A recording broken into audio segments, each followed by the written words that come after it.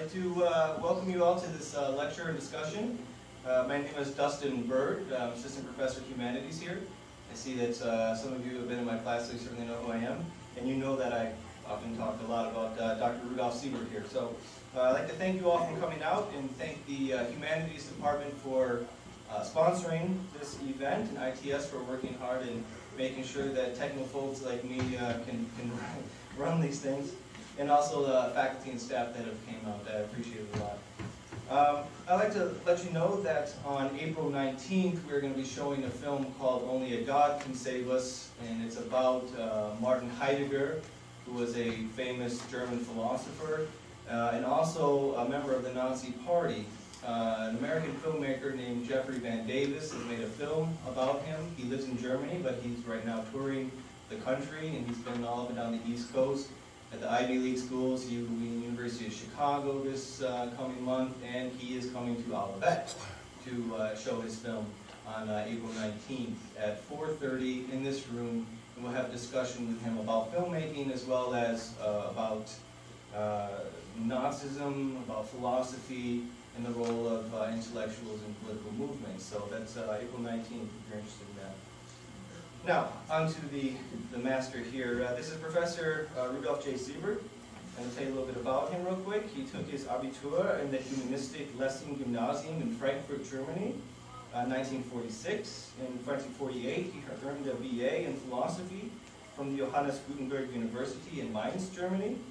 Uh, Professor Siebert earned an MA in theology at the Johannes Gutenberg University, and in 53, uh, and an MSW from the Catholic University that's a Master of Social Work from the Catholic University in uh, uh University of America, Washington, D.C. in 55. 1957, Professor Siebert earned uh, a Stats, uh, the Staatsexamen in History, Theology, Philology, and Philosophy from the Johannes Gutenberg University as well. Finally, in 1965, he earned his doctorate in theology from the Johannes Gutenberg University. I met, uh, personally met Dr. Siebert in 1994 when I was an undergrad at Western Michigan University. Uh, in the meantime, he's become my friend, my mentor, and in many ways my doctor father. He is uh, the one I'm working with on my PhD at the moment. Um, he has 17 books to his credit. Uh, many are up to their fourth edition. Uh, but he just recently published a three-volume work called Manifesto of the Critical Theory of Society and Religion, and when I reminded him that a manifesto is generally a short pamphlet, and he wrote three volumes, uh, he told me that we're modern people now and we have much more to say. So he has nearly 300 articles to his uh, credit in chapters in other books. Uh, he, gives, he has given hundreds upon hundreds of lectures uh, internationally and is the director of two international conferences, one in Dubrovnik, Croatia, and the other in Yalta, Ukraine. In 1965, he took up a position at Western Michigan University, Department of Comparative Religion, and he lived there in Kalamazoo, and lives there in Kalamazoo where he raised uh, his eight children. Uh, it's my pleasure, uh, on behalf of the uh, Humanities Department in Olivet College, to introduce you to my friend and mentor, Dr. Rudolf Siebert.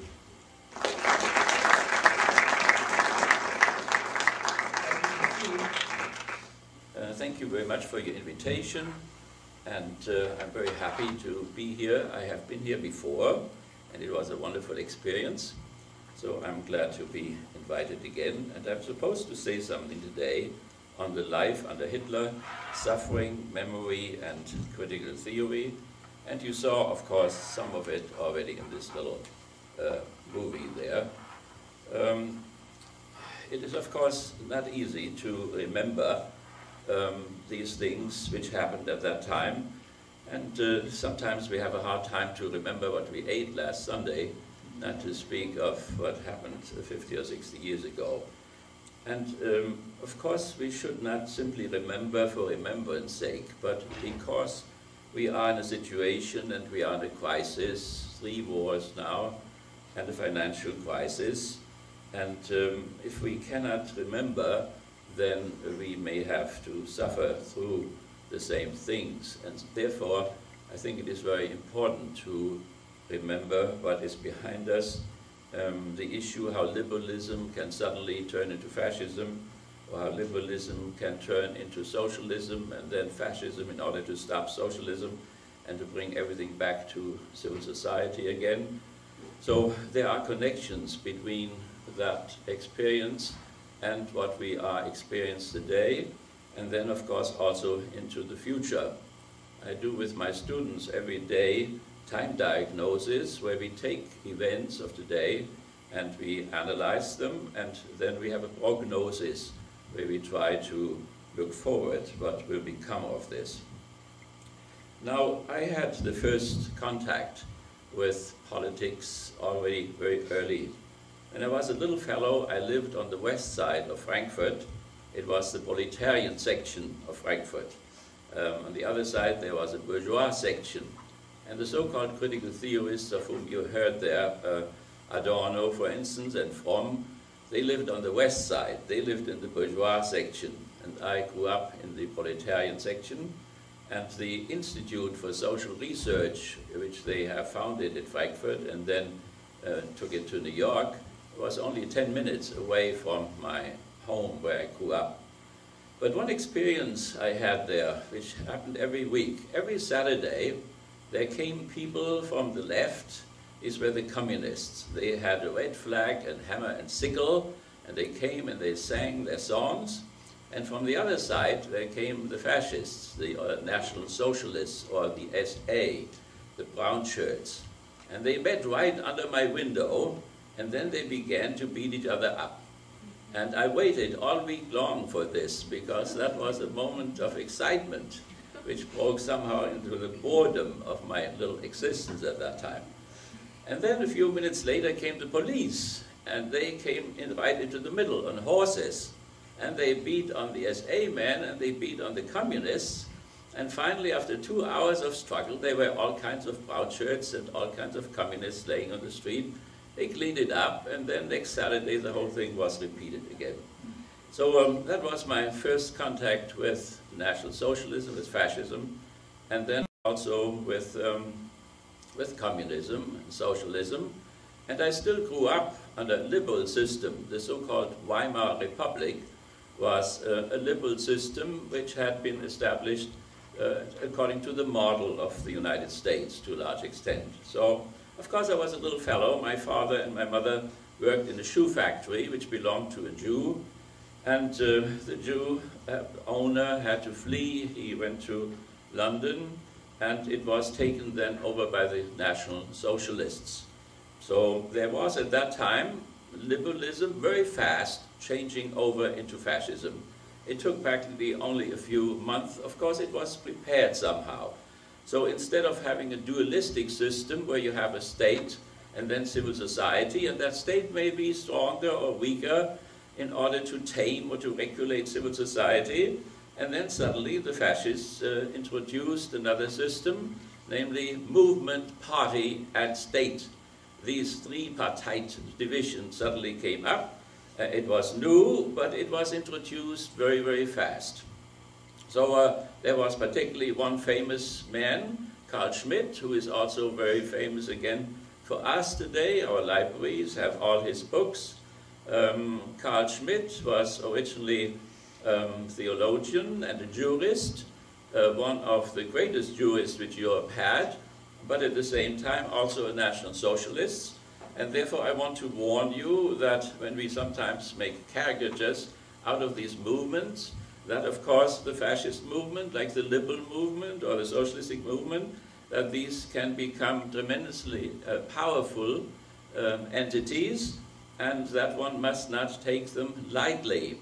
There is a word fascism today, as there is a word liberalism and a word socialism. And uh, unfortunately, the fascist movement has not stopped with Hitler's death. Um, they may look at him critically today and may say he made some mistakes, but the movement, the philosophy, a philosophy of life, uh, continues today with great strength, and sometimes it has even the component of anti-Semitism. There's an, a growing anti-Semitism in Germany and France and also here. Of course, it is somewhat different because at that time there was no state of Israel, which is a new component, of course, in the fascist movement today.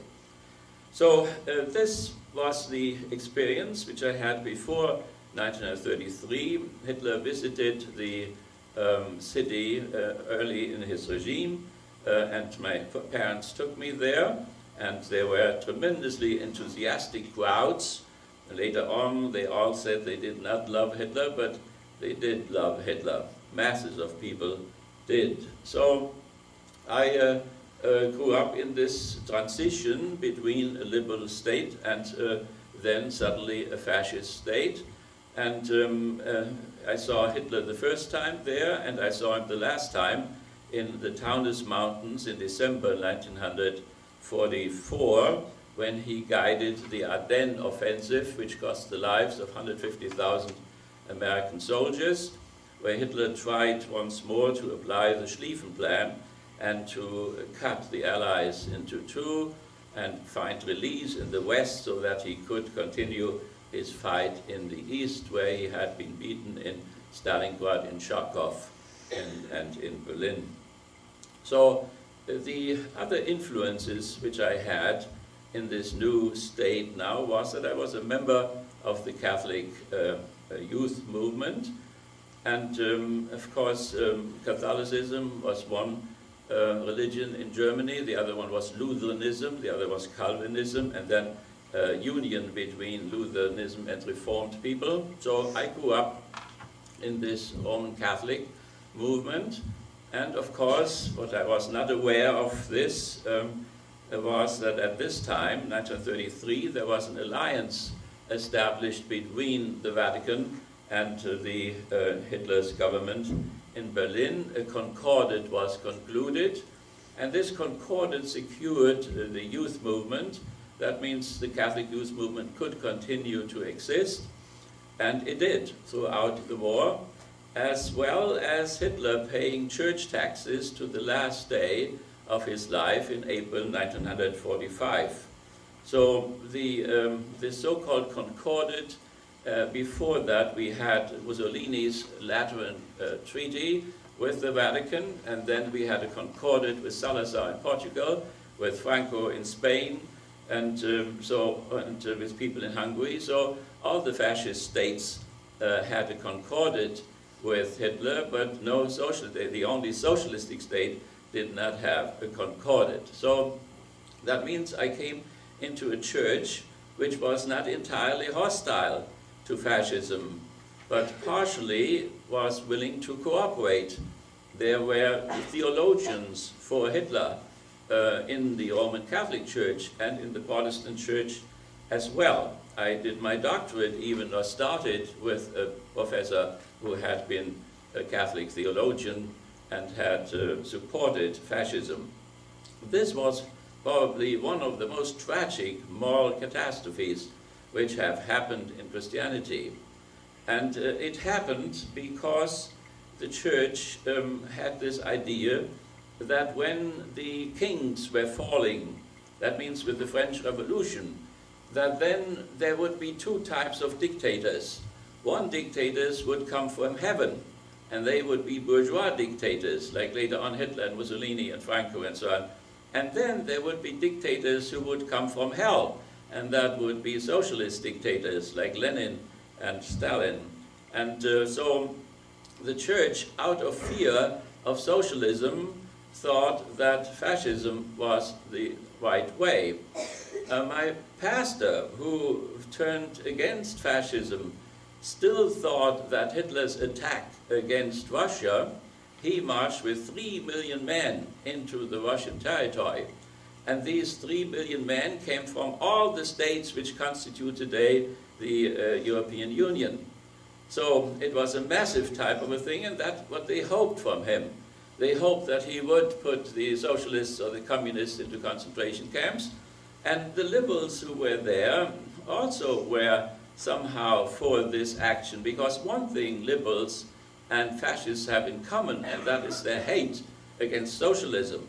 So um, therefore the bishops um, had this fear and this hope that uh, the fear of communism and the hope that Hitler would uh, break that threat. And uh, beyond that, they hoped that Hitler would free or clean up the German soul and that was all sexual in a certain sense. That means uh, Hitler forbid men and women to bathe together. He um, forbid nudist camps, which were promoted by socialists. Um, later on, when I uh, taught in communist territories, there were these beautiful uh, nudist beaches along the Baltic Sea, and um, I thought that they had developed a rather nice culture. But um, as far as the fascists were concerned, that was a horrible thing. And um, then also, of course, porno was forbidden, and the homosexuals were put in the concentration camps. And uh, so that was the purification of the German soul, which fascinated um, the church. And so the bishops visited Hitler, and they thought he was a very good fellow. They forgot completely that the concentration camps had started already, and um, that in these concentration camps people were not yet killed, but they were humiliated. These camps were work camps, and they were connected to corporations. You cannot speak about um, um, Auschwitz without talking about capitalism. Uh, they even got a like little salary in the uh, concentration camps. They were forms of uh, acquiring cheap labor. And um, so uh, the, uh, um, the bishops were not worried about all this. And that is worrisome that they were not worried about them, this, but that they were particularly concerned with the purification of the soul. Man consists of soul and body. Um, and then, of course, when um, they became death camps, uh, then uh, the bishops were, came too late and they could not turn around anymore. Only one bishop in Germany, or maybe two, were able to resist fascism. So um, the uh, whole issue, uh, when they turned into death camps, happened when the following thing uh, occurred. Hitler gave about four or five speeches in which he said, if the Jewish high finance, which would be the Rothschilds, who came from Frankfurt and are in Paris today, if the Jewish high finance will once more lead the Aryan nation into a brotherly or anti-brotherly war, then that will not be the end of Europe, it will be the end of the Jewish race. And um, so this moment came when Pearl Harbor happened. When Pearl Harbor happened, the European war became an international war, and that was the signal for Heydrich and others to uh, start the final solution. Um, there is something which we as Americans uh, may not understand, right? In Pearl Harbor, after Pearl Harbor, uh, which we consider um, an attack by the Japanese. As a matter of fact, uh, we then started the last legitimate war because President Roosevelt went before Congress and said that the Empire of Japan had launched a heinous attack against the United States and that he asked the Congress of the United States to declare war against the Empire of Japan. That was the last time that the President asked the Congress, as the Constitution of Philadelphia requires, in order to enter a war. All the others are somehow questionable. If you follow the seven-point just uh, war theory by Augustine, then the first point is that only the legitimate authority can declare war, and the legitimate authority is not the executive, but the legislative branch of government. But at that time, there was something else going on. If a country turns capitalistic, it needs cheaper and cheaper labor and cheaper and cheaper resources. Otherwise, you have a falling profit rate. And the falling profit rate is the death knell of the capitalistic system. So, therefore, the Japanese, when they became capitalistic from the late 19th century on and opened their harbors, they needed cheaper and cheaper labor, but the island, of course, is very small. And therefore, they had to go beyond the island, and they marched into China, and they also expanded into the Pacific. As they uh, moved into the Pacific, they of course crashed into interest sphere of the United States. That means when you have a capitalistic country, you need cheaper labor and you have to colonize. The colonies are bound together to empires, and the empires crash together in competition for the cheaper labor and the cheaper resources. be in Africa or the, India or in uh, the Near East or wherever. So, nevertheless, the Tokyo, uh, Berlin, and uh, uh, uh Rome axis thought that Jap Japan had been attacked.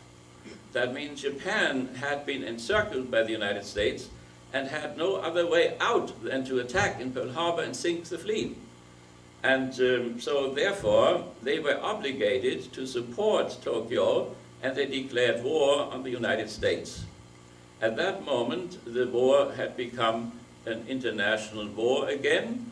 According to Hitler's philosophy and theory, uh, the Jews were responsible for this, but the Jews which came into the concentration camps were not the high finance the high finance as well as the industrial Jews had long left to London and to New York. So what went into the camps were working class Jews and low middle class Jews. He had the wrong people in a certain sense. So this was the atmosphere in which I grew up, which did not mean that I was fully aware of all these things, of course not. But um, later on, as I learned to reflect on it, it became clear to me. As a little fellow, I was got into the tension field of different uh, uh, forces. So um, I had, when I was uh, 10 years old, it was a law of the state that one had to go into um, the Hitler Youth. So I was a member of the Hitler Youth. Um, the uh, present Pope, Benedict XVI, uh, Cardinal Ratzinger, he says he never went to the youth uh, service there. He, he stayed at home which was not possible. It was a state law. You had to go there every Wednesday or every Saturday and so on. But then I was also, uh, when I was already six years old, a member of the Catholic Church, and what they told me in the Catholic youth movement was very different from that what they told me in the Hitler Youth. And it is for me still a riddle why the influence or the conditioning or the socialization in the Catholic youth movement was so much more powerful than what the fascists uh, did, who very often imitated the church in, in many ways, particularly Hitler. Hitler was Roman Catholic, Goebbels was Catholic, and also Himmler was Catholic, Goebbels was Protestant. So um, they all were members of uh, the main churches uh, in, in Germany, and the three million men who marched into the Soviet Union and killed 27 million Russians, so-called communists. They were all baptized Christians. Half of them were Protestant, the other one was Catholic. Also, of course, the camps, the administration of the camps by some branches of the SS or so. Also, the SS were all baptized Protestants and all baptized Catholics. So that is why Auschwitz is not only a horrible crisis for the Jews, but also for the Christians as well. So, uh, nevertheless, in the, uh, I was fascinated by this uh, youth movement. Um, when in liberalism the family disintegrates, then we very often do not have youth movements which could take care and of the youth and could replace maybe the family. But the Catholics have this youth movement, the communists have it, and the fascists had it too and maybe also in liberal countries we should, uh, we should think about uh, such movements in order to uh, replace wherever the family has broken down. So my family broke down because of my father's cancer death. So therefore, for me, the Catholic youth movement became um, somehow a home, and the young priests who educated us were a strong force in, in our lives at that time. So for one year or two years, the Catholic youth movement functioned well, and then uh, trouble started. Hitler did not uh, really conform to his own concordat, which, by the way, is still valid today. That means the German federal government still holds on to Hitler's concordat, and the priests are paid according to Hitler's concordat, and the church is not very interested to dissolve the concordat. It was a very good one for the church, in a certain sense. So, nevertheless, my leaders were beaten up. Some of them were killed. The main youth leader in Germany for the Catholic youth movement was tortured in such a way that we could not even open the coffin during the funeral in Frankfurt in the cathedral. But uh, the, uh, that I did not become a part of the fascist movement, which was very attractive, also particularly for youngsters, um, that is due to my education in the Roman Catholic Church. Another influence was that as a little proletarian, I had an uncle who was a judge, and he put me into a humanistic elite gymnasium or high school, and there I had to learn Latin and Greek and Hebrew, and know uh, maybe one modern language. Modern languages were no good, and also natural sciences were not good. It was a tremendous concentration on this linguistic type of humanism. And uh, so I was a little token proletarian, uh, so the others were all sons of bourgeois characters, of doctors and professors and, and, uh, and so on, and uh, ministers. And so when they discussed the Nile River, uh, I didn't know where the Nile River was, but they had all been there. And that was quite a difficult situation there for some time. But um, I caught up, and maybe the best thing of this experience of humanism, it didn't come over here, it didn't cross the ocean somehow. Um, but it was a very wonderful experience. And even today, I still read the New Testament, for instance, in, in Greek, and, uh, uh, and uh, so I, the, in Hebrew, the, the uh, Hebrew Bible. And um, it is a wonderful world which was opened up. In the middle of this Nazi thing, there was somewhat an island of not only of Christians but also of humanists. And uh, so it was a fascinating experience. Some of my teachers, they even believed in the Greek god still. They took vacations in Athens. And uh, I, I, don't know, maybe they sacrificed even to Zeus or, or Athena or whatever. I hope not, but it could have gone that far.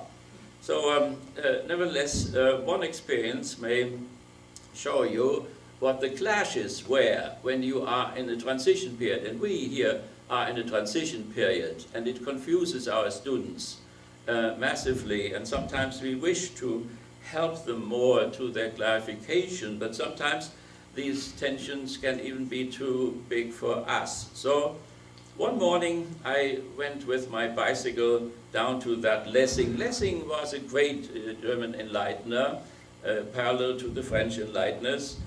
And uh, so I, um, my bicycle did not function. The chains went off, and so I had to push it down toward the school. And uh, as I looked ahead of me, I walked down there, I saw an old lady with a black coat on. And she had two big suitcases.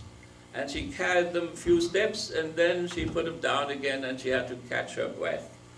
I made some kind of a connection. I thought maybe I could put her suitcases on my bike and then we could roll down together. Well, when I came to her and turned around, she had a huge Star of David on the left side of her coat. And that was a signal that I was not to talk to her, that she could not talk to me, according to the Nuremberg laws, which had been established in Berlin, but had been announced on a party day in, uh, in Nuremberg. And so it was an awkward situation, but it was the um, Catholic education. Now, Catholicism, like Protestantism, does not have a good record in terms of anti-Semitism, unfortunately, but the priests who educated me made it perfectly clear that what happened to the Jews in Germany, um, that this was criminal, that it was an injustice. So I was not somehow under the fascist taboo that I could not talk to this woman. But so I began to talk to her, but she was very shy. She spoke the Frankfurt dialect. She came from the area where Anna Frank had been born. Anna Frank stayed in our area about three years, and then her father took her to Holland, where then later on she was brought to, uh, to camp and died there. Recently I saw a movie about American fascism and they burned books not too long ago, and one of the books was this diary of Anna Frank, and it reminded me again. So the, um, the woman, the lady, finally got some courage, and she began, she looked around if somebody would see it, and was nobody there, and so we talked to, uh, with each other. And she uh, said uh, a policeman had come last night, and the policeman told her she should pack as much as she could, and then she should go to the air shelter of the Lessing Gymnasium, the Lessing High School, and from there she would be transported to the east into a nice village, and there she could live out her life. She was maybe in her 70s, um, and uh, comfortably far away from the hustle and bustle of uh, big cities, and it was a very peaceful and idyllic picture which the police had given her, and she was on her way. Now, there you can see the whole catastrophe uh, of ethical decisions. I thought that I did something good, like Boy Scouts have to do a good deed in the day, and I thought it was a good deed to put this, these suitcases there on my bike. And then we were rolling down. I, I, she believed what the policeman had told her. I believed what the policeman had told her. But we both knew that there were camps in Eastern Europe and in Germany. And we knew that these were working camps. And we both should have asked ourselves what a woman of 75 or whatever, who could not even carry her suitcases, what she could possibly do in a work camp. But it somehow didn't come to us. It is something fatal about ethical decisions that one knows so horribly little about the context in which they have done, have to be done at a certain moment. There's something much more terrible in this whole situation. Where I met this old lady whose name I did not know and do not know, and whom I have never forgotten, and I have written a lot about her. There we were standing there, talking with each other, right beside the IG Farben concern, which was the biggest uh, chemical corporation in Germany and in Europe. And um, the, uh, the building then became the headquarters of the American uh, government, military government, and today it is the humanity part of the University of uh, Frankfurt. So a huge type of a complex. Now, what went on in this building at that moment when we stood there decided somehow the woman's fate. There was a Jewish uh, scientist, Fritz Haber, Fritz Haber is the fellow who took stuff, ammoniac, out of the air and was able to increase, to double the food supply of the human species, overthrowing the Malthusian law. And he did this before the First World War. Very often in peacetime, scientists are um, humanists and they are cosmopolitan, and then when a war breaks out and things become very nationalistic, somehow they change into nationalists. So in 1915, the German Schlieffen Plan, the second uh, application, or the first application, did not work. Uh, the German troops got stuck and they could not enter the Seine Valley, which is the only way you can reach Paris. So then Fritz Haber, who was in the German military, had this glorious idea that if one would use weapons of mass destruction, one could break this the, um, the stopping of the troops there, and one could uh, save people, and one could uh, end the war. By the way, when you compare this document with what Truman, how Truman argued for the atomic bomb on Hiroshima and Nagasaki, he uses the same words, saving men, shortening the war, and so on. So the, um, what uh, Haber did, he weaponized gas and in Ypern, in August 1915, he, when the wind was right, he released thousands of canisters and he killed 4,000 British and French in this attack. He then went home and celebrated his victory. As he was celebrating his victory, his wife, who was also a chemist, took his revolver and shot herself in the backyard, the mother of a daughter of a child of his child. Um, the reason for that was that um, Haber was a scientist who was thinking positivistically. I'm sorry that I have to use some of these, these strange words, but there are no others. And his wife was also positivistic oriented. Positivism means some kind of the metaphysics of what is the case. you consider only that what is immediately the case to be real, and then to mathematize it, and you put statistics about it, and you analyze it, and so on. So um, that is a, a positivistic mind approaches things like that. But this, his wife also was a dialectician. Dialectical thinking means to think in opposites and how opposites interact with each other. So she could think that when you do something on one side of the front, then of course somebody will do something on the other side of the front, and then they will somehow circle themselves up into heaven knows what uh, events. So she had this premonition and she could not face it. So, but what she had faced in her mind, that came about. The British invented the gas mask and therefore neutralized uh, uh, the, the Fritz Haber's uh, um, gas.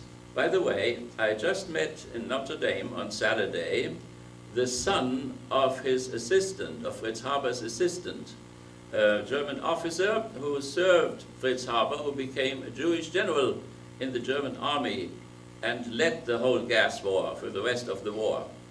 And um, so, and, and, my friend Gregory Baum from Canada is now looking up all kinds of biographies in order to find something about his father who died in the first year of his life.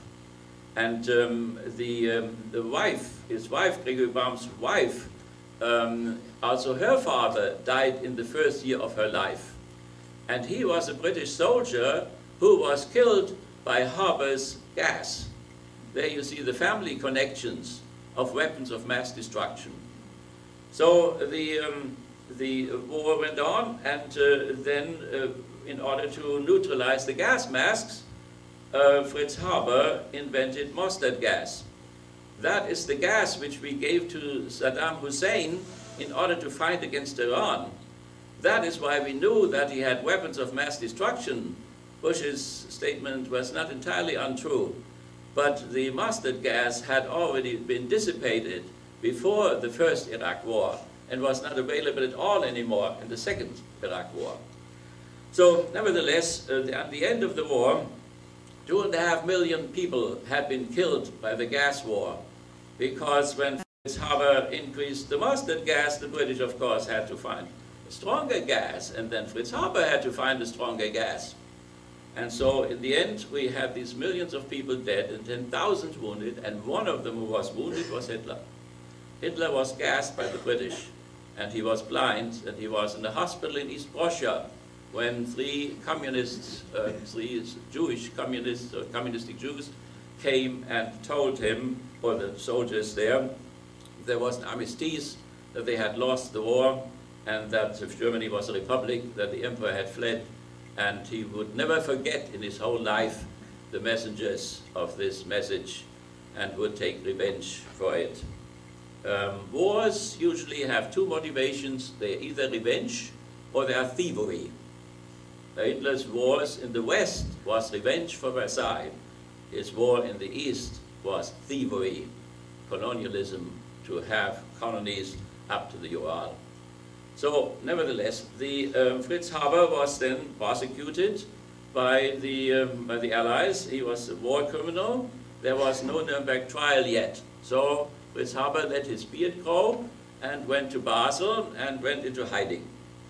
But in 1918 or so, um, he got the news, news from Norway that he had won the Nobel Peace Prize, but not for the gassing, but for the invention which he made before, by which he increased the food supply.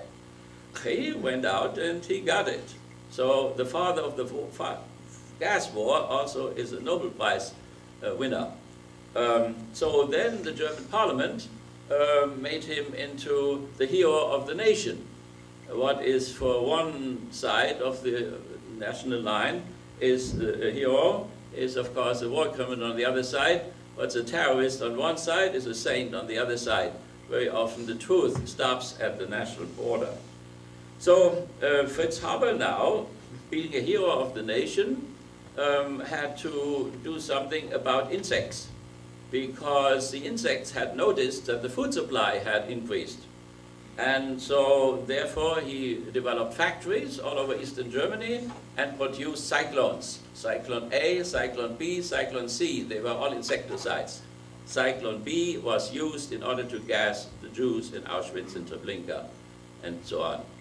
We stood right before that building in which this Zyklon B was produced already in order to be used only several months later. So that is about ethical decisions. I took the lady down to the air shelter.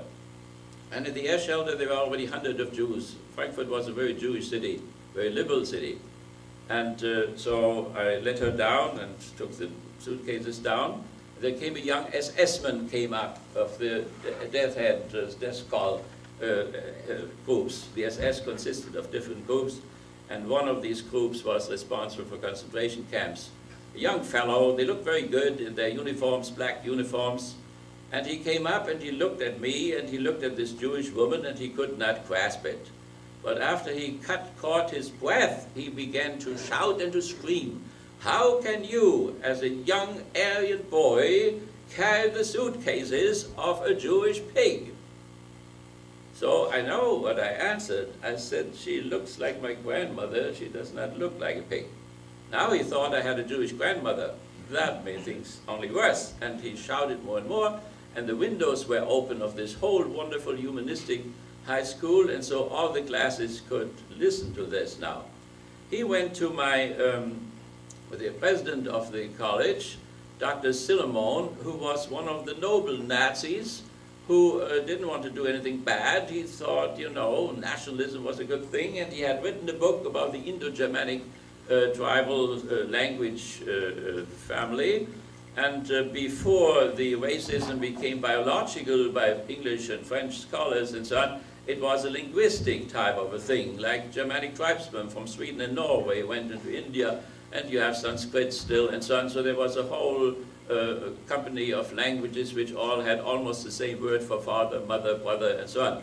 And so that was turned into biology, and he had written about this. So the SS-man asked him, what kind of a school do you have here? You know, what kind of creeps are you educating? And I was this creep whom he was educating. So he looked at me, you know, with great sadness. He didn't say it all. His, he looked as if, how could you do this to us? And so on. So it was the last time that I saw this noble Nazi director when I was then in the Air Force and um, in an airport in uh, Mannheim, which was bombed day and night. Um, we were, he, he came out, the teachers came out to teach us humanism as we were already soldiers and fought against the British and the American air fleets. So whenever we landed or the fight was over, then we learned Latin again and Greek and, and, and so on. So he had come out there and suddenly there was an attack by the uh, American Air Force. The Americans attacked in daytime and the British at nighttime.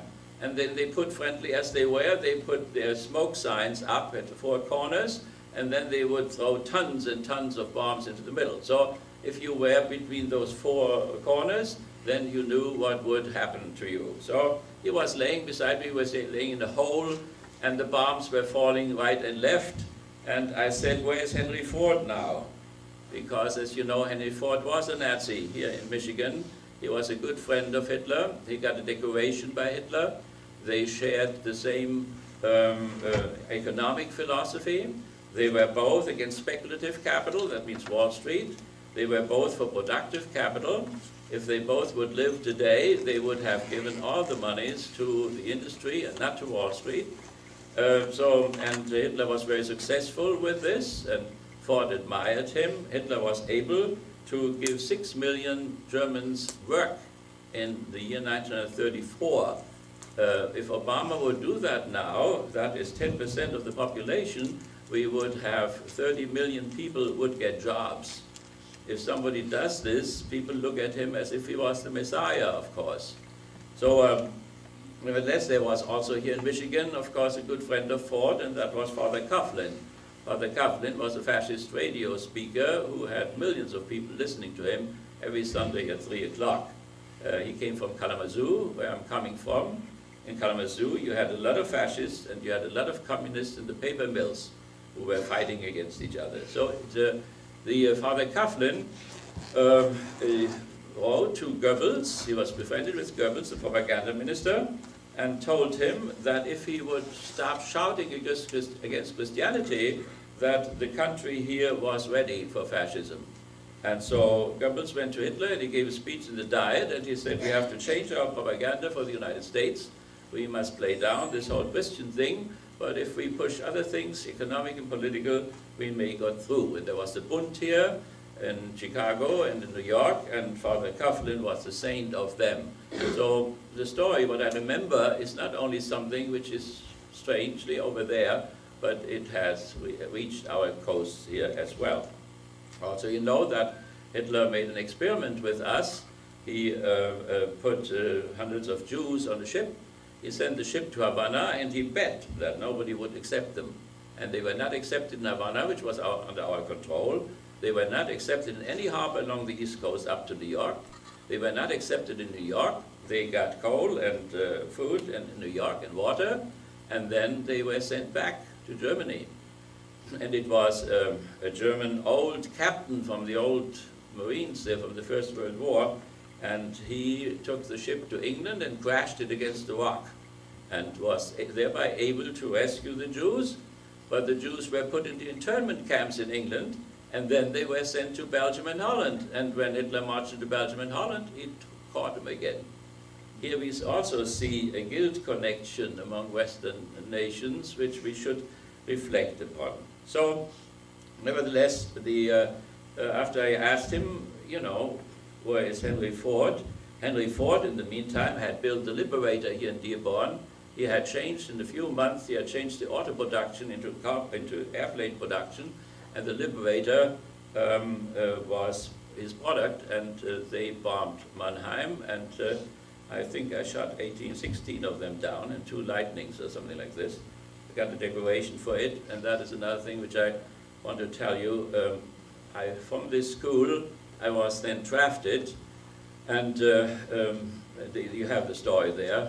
The um, uh, officer came, uh, first I got a draft letter, and I didn't go, and so they, um, the officer came and he said he had, I had no choice and I had to go. There was no law which would uh, allow conscientious objector status. Uh, also, the Roman Catholic Church had no objectors, conscientious objector status. It was introduced only in the, uh, second, uh, in the Second Vatican Council. So today, a soldier who will be sent to Libya, if we get the boots on the land, there he could then ask himself if this is a just war or an unjust war, according to the seven-point just war theory, and then he could become a conscientious objector or not. This possibility did not exist in Germany. When um, two farmers uh, refused to serve, they were both uh, shot, and uh, the priest was standing by side, side by side and uh, went with them to the execution, and they told him that the state was right and that they were wrong. So then I was, um, I went to Sossenheim in Frankfurt, the airport, where I was trained then. Um, and I, as I say in there, I stayed then, I mean, I had to stay anyway, but I also had some consent. I thought that to rescue the people, when you see ruins of that time in Europe, there were always people under these ruins. And these people were not soldiers, they were women and children and old people. And I thought if I could distract the liberators, then uh, they would throw their bomb bombs in the Taunus Mountains, and then the children would not be killed, or the women, and so on. There was McGovern's campaign manager, you know, McGovern, ages ago. He won for office twice. And um, he bombed Frankfurt. And I always said, George, I said, you are very lucky that you are still here. If you have met me over Frankfurt, it would have been your end. well, we loved each other, and we still do. Uh, and he thinks he's right. But when old people move to Judgment Day, it is very important what they did in their lives. He thinks that his activity was necessary in order to conquer fascism. If that is really true, fascism was beaten in, in Kursk and in Stalingrad, in Charkov and Berlin. It was not overcome by the war, by the air war. As a matter of fact, the more you bomb people, the more loyal they become to their leader, the greater are their hopes in their leaders, and so so it is a little bit counterproductive the whole the whole issue. So, nevertheless, I uh, we so we are of different opinion about what we did and what we have to tell on Judgment Day about our activities. nevertheless, I um, so this was my I wanted to finish up this. Uh, um, finished up the story there about the Jewish woman, which shows you the fate of uh, humanism uh, under fascism when barbarism breaks in. Marx said once, you know, it will either be socialism or it will be barbarism, and in Germany it was barbarism. So um, when I came up into the classrooms, in one classroom there was a priest. Priests were allowed to teach in the schools, and the priest, uh, they read the Hebrew Bible that God had created man according to his image, and down there were the Jews sitting who had produced that document, and they were not treated according to God's image. So um, that um, I went to another classroom. They read Greek, Plato about the beauty and justice and so on, and down these people were uh, were sent to the death camps. So this horrible break which can happen, Germans were now a very cultivated nation with their Goethe, and their Schiller, and their Beethoven and so on. And people ask all the time, how could that happen? Well, it can happen when liberalism comes into a crisis, when there is an economic crisis, and if there are war crises and so on, then people panic and they want to have a solution, and then they are told that things are dangerous, that they are attacked, and so on, and then you just push that button and they will walk, they will think it's a very fateful thing which we should also reflect. So I came then to the teacher who taught Latin, and we went Ovid and so on. He was from the Confessing Church. The Confessing Church resisted fascism in Germany. And he had big glasses. I could never see his eyes, but then I was sitting there and I looked below his glasses and he was smiling in his eyes. And uh, from that time, I, as a little token proletarian, had a very good time. Uh, so I must say to the honor of my school, I was never punished for having um, helped the Jewish woman there taking her their suitcases. So, but then you know, after being drafted, I fought as long as there were German airplanes. And when they didn't function anymore, I became a lieutenant in the infantry, and I was supposed to go to Russia to fight atheistic Bolshevism. And um, so that uh, um, didn't come about because uh, uh, the Patton, General Patton, marched from Worms into, um, into toward Berlin, and he was supposed to be stopped, and so for several weeks I fought against General Patton and his Canadian colleagues, um, and um, these were uh, very beastly struggles, but I had an experience which gained actuality recently again when we had uh, discussions about the, uh, uh, the uh, conventions, um, the, as far as the torture and so on is concerned. My experience was always that um, that both sides, uh, except the air war, um, but even inside of the air war, that the Geneva Conventions were held. I took a, a city from, from Alzenau, from Patton, and he had to remove very fast, and he could not take his hospital along. When I took over the hospital, I found out that he had treated the German prisoners as he had treated his own people. They got the same medicine, they had the same doctors, and so on.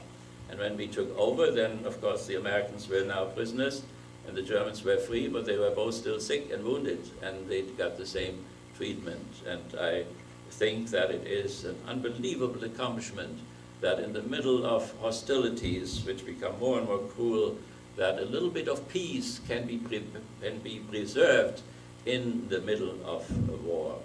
Also, when I finally, in the Battle of uh, Hahnenkamm, you can look it up in the history books, um, I was beaten and all my men were killed. And then I surrendered, and also that happened according to the Geneva Convention.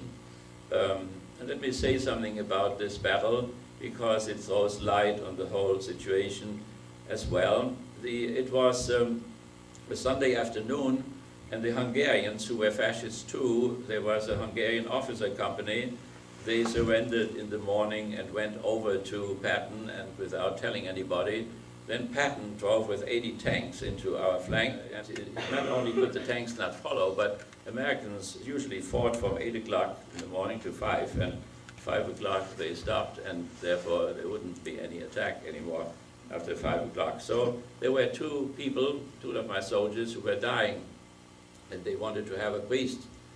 And where do you get a priest from? In the middle of the battlefield. So since Americans did not fight after 5, I went to the next village and getting, getting them a priest. I found an old little priest and he, I took him to them and he gave them the last sacrament and they died during the night. And then I want to bring him back again because it was dark and I thought he would fall over all kinds of uh, woods or whatever. And so I didn't take my weapons along, all of them. And when we crossed the highway, little road, country road, suddenly this SS came. That was again when I met the SS again. Um, they were always uh, furious when, when, when this encounter took place. So they came into a little motorcycle and it was a flying court procedure. Um, and there were people hanging already, old men and little boys were hanging there uh, on the trees in the moonshine. And so they came out and they asked me where my weapons were. And I said, well, the weapons are over there with the soldiers. And so they thought I was a deserter. Um, all the Europeans, we, we could, um, we did not uh, shoot too many deserters, but the Europeans did it massively. When you go forward, you have a chance to survive. If you go backward, you are dead for sure. So they prepared already the documents, the paperwork, as they say, for my shooting or hanging, and uh, there my general came suddenly out of the bushes in the middle of the night with a horrible Bavarian dialect, and he uh, said, what are you doing there? And he pulled the steel helmet over my face, it disappeared, and he said, look at this, this guy is not worth a bullet. We don't have any bullets anymore, and we don't have any soldiers anymore, so just leave him to me. So that is how I was rescued, otherwise that would have been the last hour. So uh, just one more story about this whole uh, attempt, you know, to overcome fascism. Fascism could have been overcome if the German workers had arisen and they had fought against Hitler, who was an employee of not only of uh, here Ford, who paid him massive money and gave him a Mercedes when he came out of prison, but also the Master Club of Düsseldorf, Krupp Thyssen, when you look in the elevators, you probably have Krupp sometimes, or Thyssen or whatever. They were the people who paid Hitler. So uh, this, uh, uh, so the workers did not rise, and therefore it needed a whole world war in order to come, overcome fascism at that time. And we should remember this when we go into our future, how costly that was.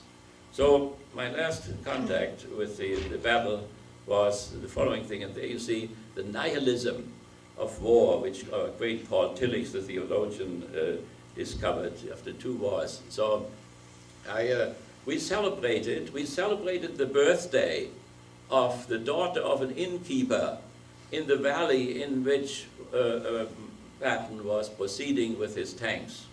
So as he was moving through the, to the valley, there was an inn. And in this inn we celebrated, in the middle of the war, we celebrated the 18th birthday of the innkeeper. And Prosit and champagne and so on. Suddenly the first bullets came through the window. And the general said, uh, the Americans are coming we want to show them a last time what German strategy is. So he took 400 men which were left and he led them around a mountain and then came back to the same road on which the Americans were approaching. The Americans came to the inn, they took flamethrowers and fried the soldiers in the bunker who were sitting there like little chickens. Then he marched up to that village. It was close to 5 o'clock. The soldiers wanted just to go to the next village and then rest there, put the cannon on automatic, and they would shoot all night long, uh, move a little bit, but they would play cards in the meantime and see some Fräulein and, and so on, and we're happy. So there, shortly before this village, he put these 400 men down. A terrible noise in the village. People were hellishly frightened. The propaganda always demonizes the enemy, and therefore they had very demonic picture particularly of black soldiers, in spite of the fact that the black soldiers gave all the chocolates to the children and so on. So, and there they were marching there, the tanks, and then the infantry on the right and the left. They had their hand in the pocket, and their guns were hanging over their shoulder, and their cigarette smoking, and they thought that was a long day, and they were very happy. And there, suddenly, this general gives the order to shoot. And so 400 people began to shoot. And then he withdrew them all. It was maybe one minute, one minute, two minutes. He withdrew them and went behind the hill. The trick was that what he wanted to show the Americans, German tragedy, uh, German strategy, was that the barrels of the tanks could not lift high enough in order to shoot over the hill. He had estimated the height of the hill and the movements of the barrels of the tanks. And they shot now into the hill. He had no casualty. And what happened to his soldiers? Eight years later, I went to the same inn. It was peace now, and in the meantime, I had married an American woman in Washington, uh, whom we had, uh, we had met at the Catholic University. And so I had to go back to Germany to democratize, and so we lived in Germany, and we went to that inn. I saw the innkeeper, he was still, still the same innkeeper. I said, do you remember the 18th birthday of your daughter? Of course he remembered it. He said, yes, yes, there were soldiers here and they lived in my house and they shot all my cows at night because they thought they were tanks. And so they were all dead. And then I said, what else happened there? Uh, was there some fighting? He said, yes, there was maybe a mile up the street. There was suddenly tremendous gunfire and then it all stopped. And I said, and then what happened then? He said, well, then they bought the body bags and put them all into my court here in the, in the hotel there. And I said, did you count them? Yes, he said, I counted them. How many? 93. 93 American soldiers lost their lives in a valley which was of no strategic value whatsoever. They had already bombed Würzburg into the ground and were on the way to Berlin, where they couldn't go because Eisenhower thought Hitler would resist in the Alps. So, but nevertheless, it was just a mopping up, mopping up type of an operation. If you want to see and talk about or think about the sense or nonsense of war, then I could tell you innumerable stories like this, but that was one of the most drastic and horrible ones. These were soldiers, many of them black soldiers from Mississippi. They didn't know exactly, or wherever, didn't know where they were, and I think they didn't know exactly why they were where they were. So, and they wanted to live. So this is as far as the horror of the war is concerned. I did surrender. I was, um, uh, was treated well. Um, throughout my imprisonment, I was treated according to the uh, Geneva Convention, um, and that may be different from the way we think today. Um, one thing was violated. A prisoner had to be put into an area in which there was the same climate as in his home country. But I was put into Virginia, and it was too hot in Virginia. Nevertheless, um, I was in the camp, and uh, there, the first time, I came in contact with the so-called Frankfurt School, or what they call in the movie the critical theory of society, which is different from the traditional theory which we have here, still teach here in the, uh, in the uh, social sciences. So it somehow superseded the traditional theory and it's called the critical theory of society, and we developed out of this the critical theory of religion. But the first time that I came, of course I grew up close to the Institute, but my grandfather was a streetcar conductor and he drove those critical theorists from the Institute to the center of the city, but he did not know them and they, they did not know him. And so that was a very anonymous type of a contact.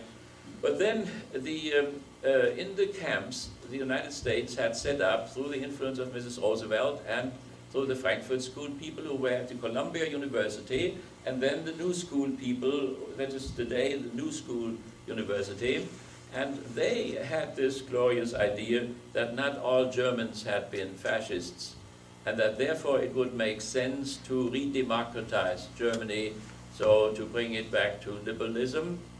And so there were 25,000 out of 300,000 uh, Germans here in the States, they were re-educated, and I was one of them. And there were 100,000 Italian, uh, they're all from the Afrika Korps, um, and they were educated as well.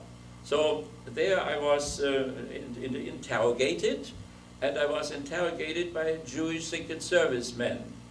And um, they needed no torture whatsoever. One can investigate people without torturing them if one is smart enough and knows enough. So there were cross hearings and there were questions from there and there. So one of my fellows there, comrades, they said, you were in this unit and in January uh, 1943 you were in Lodz, yes, you were a truck driver and you drove trucks. Now on this day there were trucks going to this quarry and you drove this truck, yes, well, and who was on that truck? Well, Jews were on this truck because long before they were gassed to Zyklon B, they were shot massively. When I came to Kiev a few years ago, on the Sunday when the SS had been there, 170 Jews had been shot in, in Kiev on that Sunday already. Then I thought, that's enough. That they didn't do more. No, they didn't do more. There was a quarry near Kiev, and there in this quarry, 35,000 Jews were shot. Not gas, shot. So it started already much, much earlier. So, um, nevertheless, uh, um, I was uh, um, then, you know, I was surrendered and I was uh, treated well and uh, I had this hearing and they found out that I was uh, an anti-Nazi. Why? Because I had belonged to the Catholic Youth Movement and the Catholic Youth Movement had spread a letter by Cardinal uh, Gar von Galen uh, and uh, against the camps, but also against the Allied saturation bombing. And we spread his sermons around the city and had been caught by the Gestapo, and we also helped some Jews in the basements and kept them and fed them, and they were better, they spoke better German than I did, the agents, and they knew Frankfurt better than I did, and so that is why I became one of those 25,000, and uh, professors from Harvard and Yale and so on, they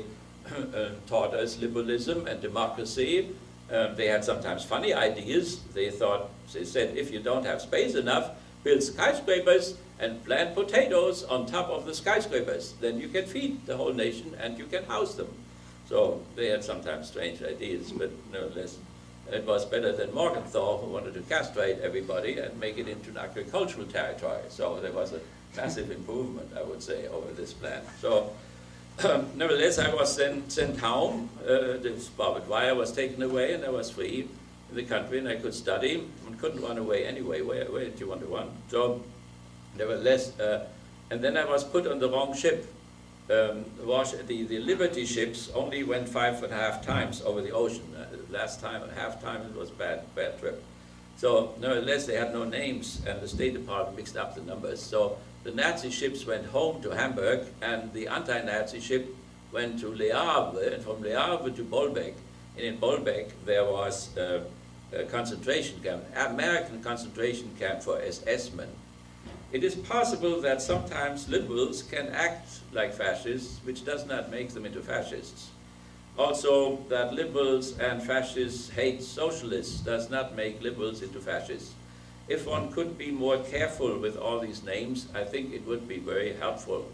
So before we call anybody names, we should know precisely what these concepts mean and uh, if, if they are really fitting the situation. So Nevertheless, in Bolbec, I told the, uh, the, officer, which played with his dog, very much like an SS officer would have done, uh, I said we were anti-Nazis. Well, he said all Germans were anti-Nazis. And then he took all our uh, uh cigarettes and, and, and uh, chocolate with which we should go to the black market in Frankfurt because you cannot promote democracy without eating something first.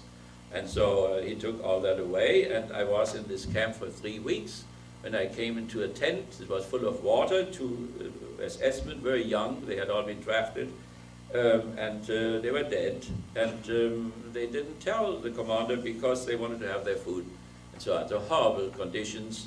Uh, French people came and uh, they looked at us and we were very well fed. And uh, so I, um, I was supposed to work either into a, in a mine or to pick up the mines in the Normandy where the maps were lost.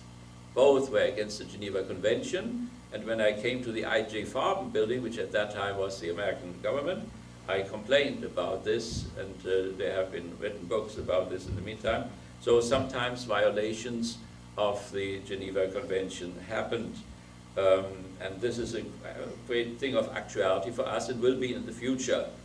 There were two uh, events in the Second World War where heads of states wanted to cancel the Geneva Convention as President Bush wanted to do. One was Dresden. When Dresden was bombed four times in the same night, one of the most horrible uh, acts uh, by the British Air Force and in the morning by the American Air Force, then Hitler wanted to cancel the Geneva Convention, which would have meant that thousands of American pilots who were in prison would have been shot. The uh, German generals, it took them three weeks to convince Hitler that this was not a good thing because the Americans and the British would do the same thing with the German prisoners, and he was finally convinced.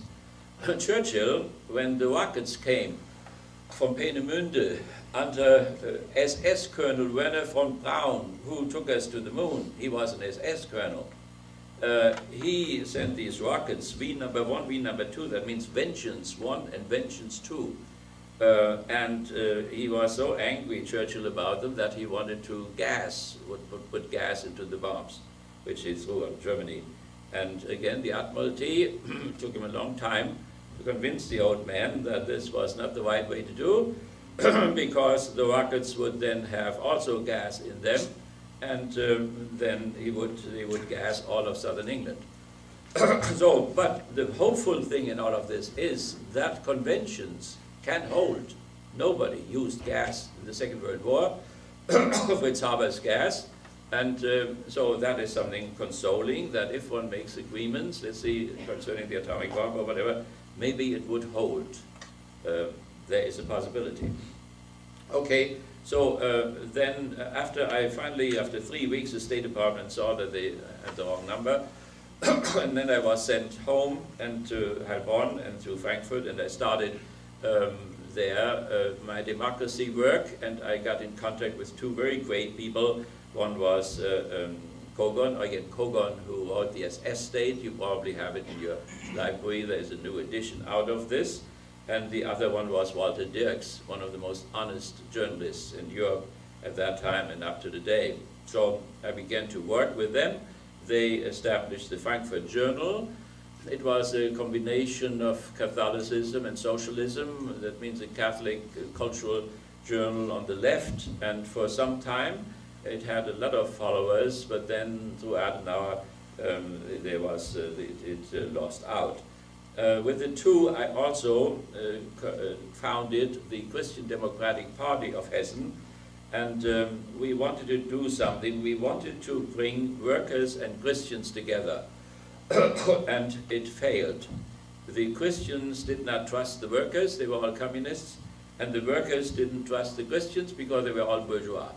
Then came Adenauer, and he put the Catholic and the Protestant uh, Christians together in one party, the Christian Democratic Party, and the workers went all into the socialistic parties, again into the communistic party, which was then repressed. So um, the, uh, I remained in the Christian Democratic Party, it had a left wing, and it, uh, this left wing developed uh, all the social legislation in Germany, and the social security and health insurance, uh, collective health insurance and so on, are still today in, in very good shape. The party itself moved more and more to the right. Merkel now is the uh, chancellor, and uh, so that is a, has become more and more a capitalistic uh, party, but it wasn't that way when, when I started there. I did all my studies. I studied in Mainz and Münster and so on, and uh, I studied history and theology and philology and so on. And um, then I went a second time to the United States because I was supposed to be, uh, again, uh, um, you know, educated to do the democratization work better.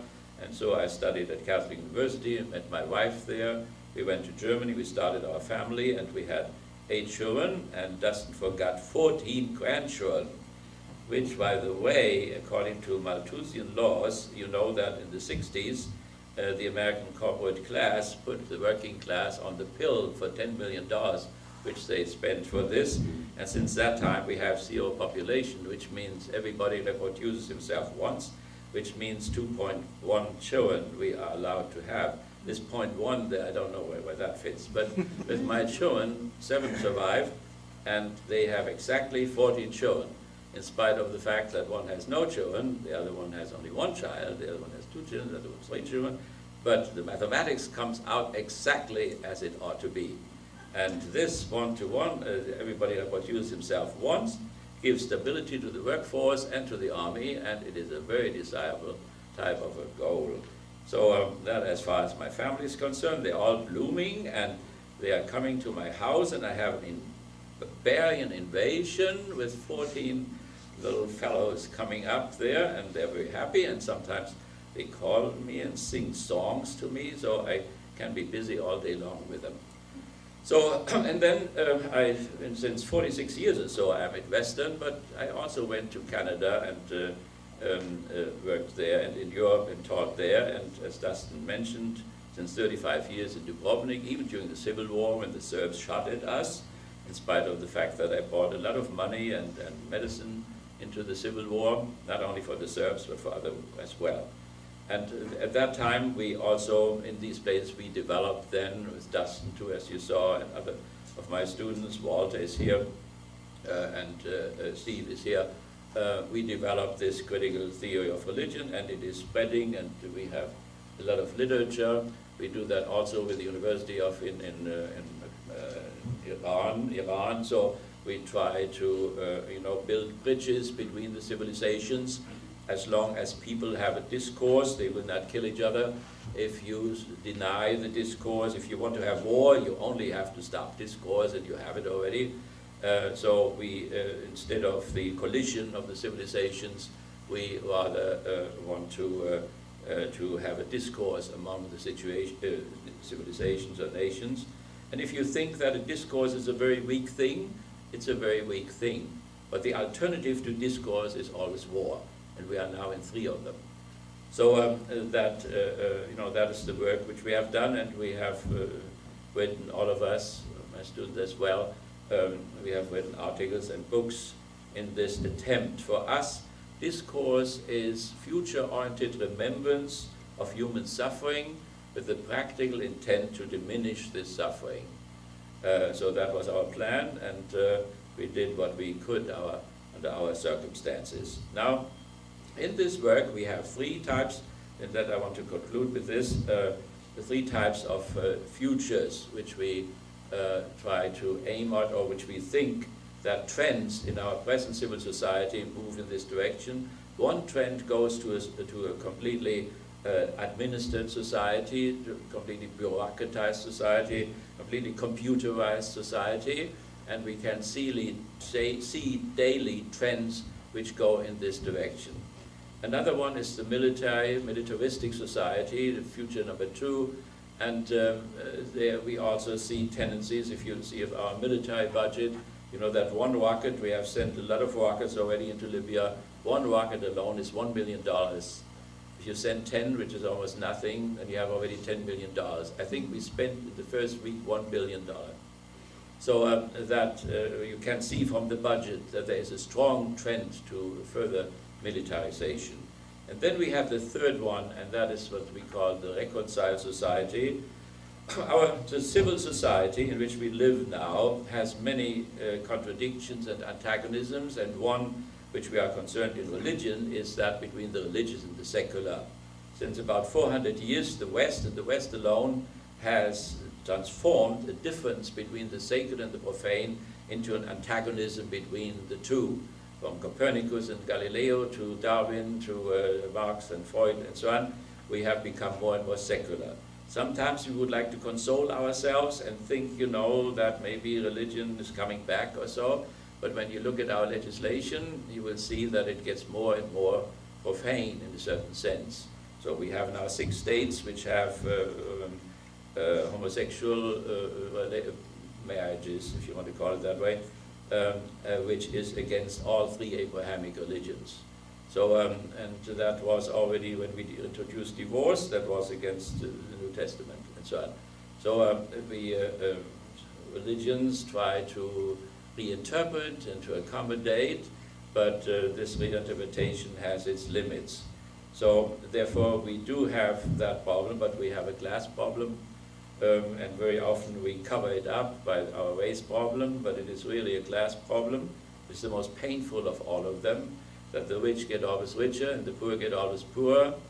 And, uh, and you see many indications. Uh, we have a working workforce of uh, uh, 200 million people, and uh, what we call the middle class, and when we say the labor unions have created the middle class, we mean well-paid workers in Ford Motor Company and so on. But exactly there where the unions were most successful in these states are now those who suffer most because they made the, the workers too expensive and therefore in search of cheap labor and so on, the car industry went to Mississippi and then they go to Central America and then they go to China India and so on. So one cannot simply say you have to stay here.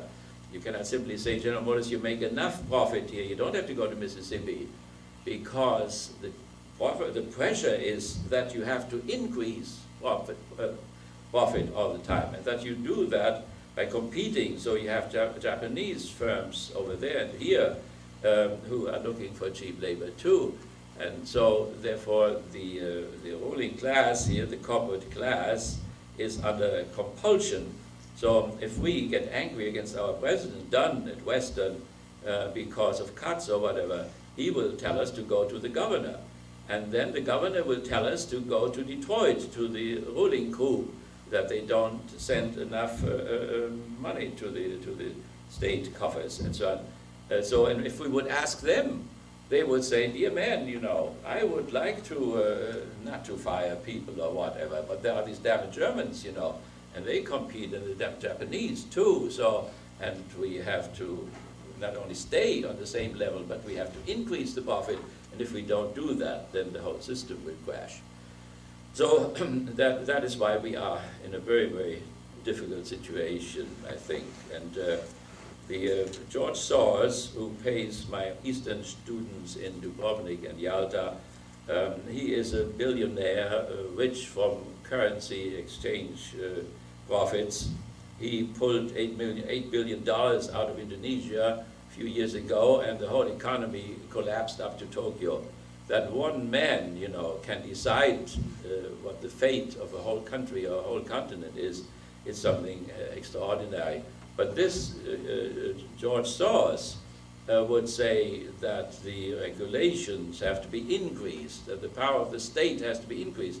He knows that civil society, if it's led to itself and is privatized and so on, it will commit suicide, as we have seen when in the last days of President Bush, when they came and said, Mr. President, the economy goes over the brink.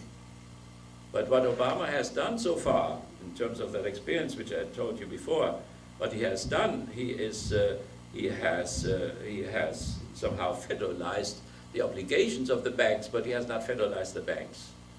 And wherever he, uh, uh you know, because he does not, not because he is not a wonderful person or so, but because he does not have the power behind him, uh, even in his own party, to do this federalization, there will be another president not too long from now, and somebody will come and will say, Mr. President, the economy goes over the brink. And then we will not get another trillion or whatever from, from the communist China. And we will not have the same amount of money in the federal government in order to do that federalization and then we will have an increase of the unemployment in Detroit and, and, and so on, and the cities will become restless, and we will ask for the emergency laws, and that will, of course, point in the same direction with which I started today. When a liberal society gets in trouble into military crisis or economic crisis, then socialists are coming up, and they say, oh, Obama is a socialist, which he is not. He's a Roosevelt liberal. And, uh, and then when the socialists are coming up, then the power elite will call the fascists in, and in order to repress them and to restabilize civil society. And this is a fateful type of a thing, and I think from the experiences which I told you, um, we can find maybe a better solution than the Germans did.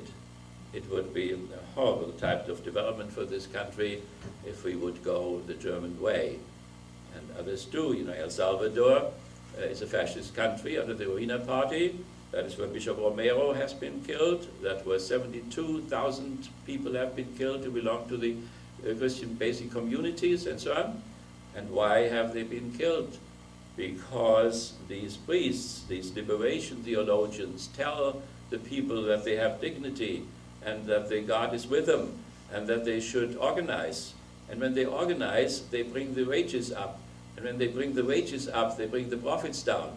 And when they bring the profits down, then the northern capitalists don't have any reason anymore to go there in order to get cheaper labor.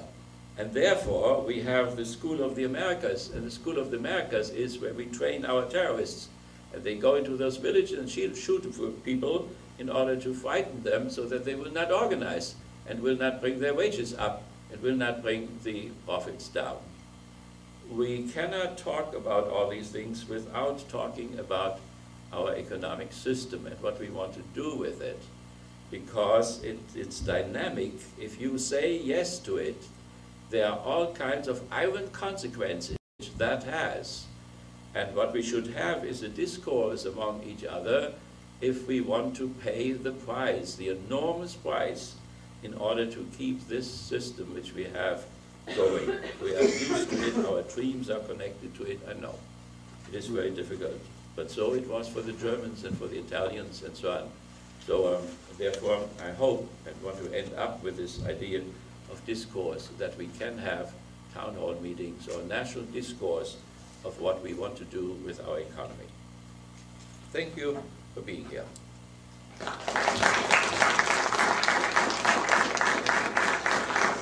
Can you hear me at all? We have a little bit of time for um, questions. We have a little bit of time for questions. Uh, we went over a little bit over than what we were planning, but um, it's a great honor to have Dr. Siebert here, so I figured that uh, it was definitely worth that little extra time. Uh, so if you're okay with that, Rudy, we Yes, can take yeah, a few fine. questions. So if anyone has any questions, you just had to be kind of loud because the microphone's not working. Either that or just operator deficiency. So, anything? Yes, Josh. Uh, how do you feel about the assassination at Hitler with Valkyrie? And do you, do you think that assassination because it was too late? Or because the Allied forces were already in Germany at that time? Say that again, the first part. Stauffenberg. How do you feel about Stauffenberg's attempt to kill? Oh yeah, right. I mean, this came, of course, very late. Stauffenberg, Colonel Stauffenberg, you know, had fought in the east, of course. He had lost his arm, so uh, he was part of the whole effort, first of all. But then there was a group, you know, which uh, thought something had to be done about it, and uh, very late. He was a Catholic, and so he went to confession and asked if he could assassinate Hitler because, uh, and, and the priests all said in the confessional, you cannot kill Hitler, you cannot kill anybody. Uh, but then he met a Jesuit in the confessional, and the confession and the Jesuit followed the natural law teaching, and there was a teaching in the Middle Ages of tyrannicide. That means if a nation's life is, uh, is uh, threatened by its government, the people have a right to take the government out and to uh, assass assassin if possible. So then he went and he did this, but uh, he was not a very good engineer. Uh, he went to the toilet. He sharpened only half of the of the uh, uh, explosives. Um, uh, the, the room was changed. It was not the bunker in the Wolfschanze in East Prussia. Uh, Hitler had two headquarters, one in Kiev, near Kiev, and one in the Wolfschanze. And so they had gone into a room which was open, the windows, and so the blast, you know, went out the window, and so the whole thing failed. And um, and then uh, when you go, you can go to Berlin now, and the for former home of the uh, of the army there, and uh, there is a monument where he was shot. Then, so um, if um, they wanted, their plan was that they wanted to make peace with the Western allies in order to get a free hand in Russia, and it would have been a bourgeois government uh, in uh, in Berlin then to replace Hitler. Um, now, uh, they were all conservative people, right? So nobody from the working class was involved. The great disappointment is the working class, which uh, was persuaded by Hitler to march with him. There were maybe, maybe 12% of the working class was on his side, really fanatically.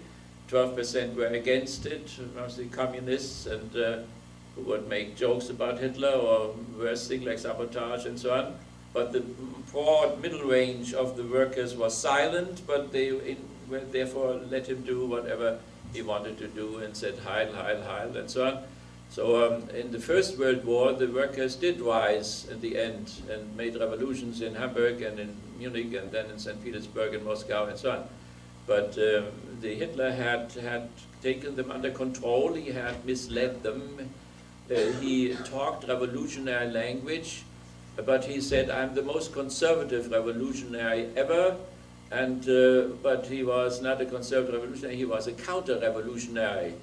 Um, there had been three attacks against Soviet Union. At Lenin's time, 12 capitalistic armies marched in, and then Hitler was the second one. The third one was 1989, which was a very successful uh, neoliberal counter-revolution, which brought the communism down to some extent there. Uh, Hitler almost brought it down, but it ended in Kursk and in, in Stalingrad and so on. So in the first one, there are still 8,000 Americans in Murmansk buried there because we participate in this. So we have three counter-revolutionary movements against the Soviet Union, and the last one was the most effective one and the most unbloody one. So therefore, Stauffenberg, you know, belonged to the nobility. So it was the bourgeoisie and the nobility which did the attack against Hitler. It was not the working class, um, but it was too late. Any other questions? You ever felt any bias being an allied nation after the war? A bias, you mean personally? Yeah, like, anyone, uh, ever like had some kind of hostility towards you? No, nobody did. And um, the, uh, not even in the Soviet Union. So I, I taught in, uh, you know, in Eastern European countries as well, and it is uh, somehow miraculous. Um, because if you see in Croatia, for instance, uh, the Germans, you know, punished for partisans in one town, they killed the whole high school with the teachers. And one should think, you know, that people would forever hate people who speak that language and, and so on.